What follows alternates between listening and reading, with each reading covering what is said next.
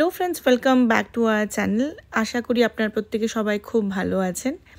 আমরা বেরিয়ে পড়ে গেছি ব্যাক টু বাড়ির উদ্দেশ্যে। ছুটি শেষ, কুলফি বসে আছে গাড়িতে। তো আমি সোনামুখী থেকে যাচ্ছি বাই কার আসানসোল অবধি, আর ওখান থেকে আমি ধরবো ট্রেন আমার অ্যাকচুয়ালি যাওয়ার কথা ছিল বিসর্জনের পরের দিন বাট যাওয়া হয়ে ওঠেনি বিকজ অফ রিজার্ভেশন ইস্যুস আর যেহেতু কুলফি আমার সাথে ট্রাভেল করছে, সেই জন্য ফার্স্ট এসি ছাড়া আমি ট্রাভেল করতে পারব না।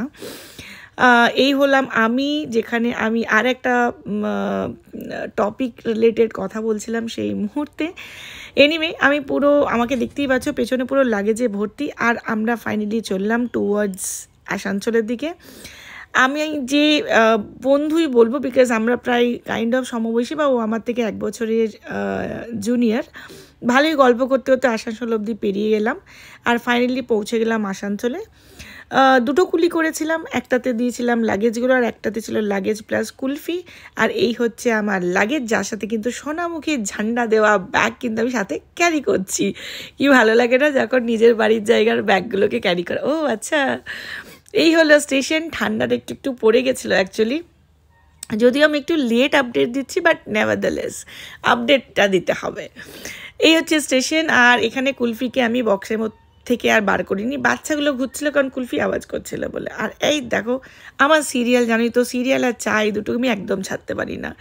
লোকে ভাবছে, এই মেয়েটা ট্রাভেল করছে, তো একদম চুলের তেল চ্যাপ চ্যাপ করছে পুরো। আমি এইরকমই হ্যাঁ তো একটু আমার মাথার স্ক্রুটা বোধহয় ঢিলে আছে। এনিওয়ে ট্রেন ফাইনালি ঢুকে গেছে আর, এই দেখো দুই ভদ্রলোকেই কিন্তু খুব টাইমে চলে এসেছিল। এটা কিন্তু বলতে হবে মানে যারা লাগেজ ক্যারি করে ট্রেনে তারা কিন্তু খুব তাড়াতাড়ি মানে খুব সুন্দরভাবে অন টাইমে পৌঁছে যায় লাগেজ মানে ট্রেনে চাপানোর জন্য। সো এই লাগেজ ঢুকে গেল আর ফাইনালি আমাকে, আমি বলেই দিয়েছিলাম, কারণ এখানে বেশিক্ষণ ট্রেনটা দাঁড়ায় না, তাই বলছি একটুখানি সেট করে দিও। আর এই আমি আর কুলফি এই হচ্ছে আমাদের অবস্থা। কুলফিকে দেখে একটু ডাল মনে হচ্ছে বিকজ কুলফির হিট সাইকেল শুরু হয়ে গেছে। আর আজকে ছিল ডে থ্রি আর এবারে যার জন্য হয়তো মেবি কুলফি একটু ডাল লাগছে। আর একটু খাওয়া দাওয়াতেও কিন্তু একটুখানি মানে একটু ফাসি বিহেভ করছে। নর্মালি এটা কিন্তু কুলফি করে না। তো সেট করে নিই সেট করে নিই তারপরে আমরা মানে একটুখানি সেটেল হয়ে তারপরে আমি খাওয়া দাওয়া করব।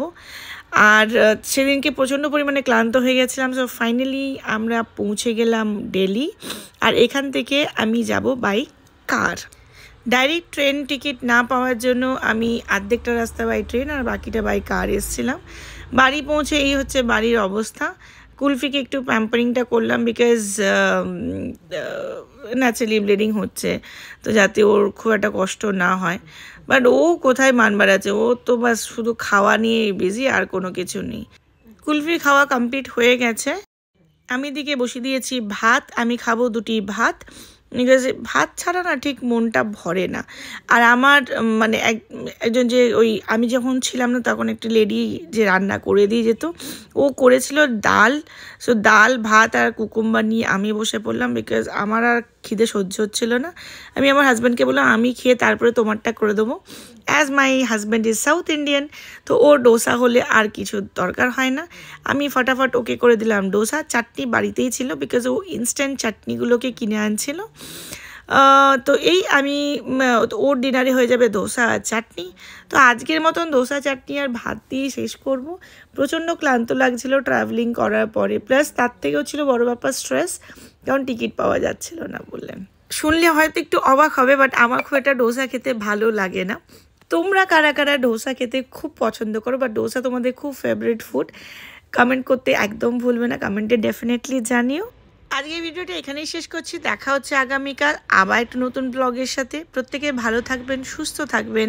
আর ভিডিওটা যদি ভালো লেগে থাকে প্লিজ ডু লাইক